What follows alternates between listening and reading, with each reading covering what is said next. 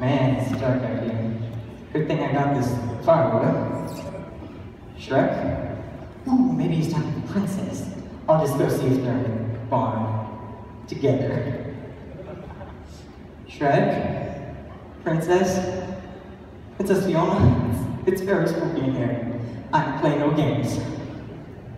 Ah! Shrek! But where's Shrek? Princess?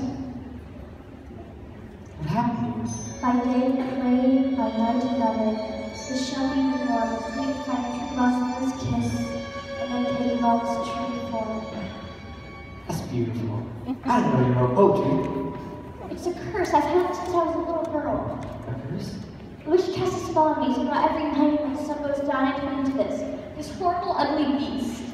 Wait a second. This is perfect. Perfect donkey, if Lord Farquaad finds out, he'll never marry me. So? So the kiss is the only thing that can break the spell and make me beautiful.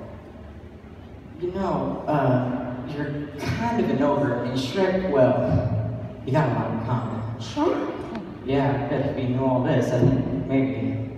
No, he can't know. No one must ever know. Promise me, promise! All right. I won't tell him, but you should. Man, if this is all over, I'm need a whole lot of serious therapy. I can't think about Shrek. Not now. Princess after all. And I mean, really, who could ever a beast so hideous and ugly?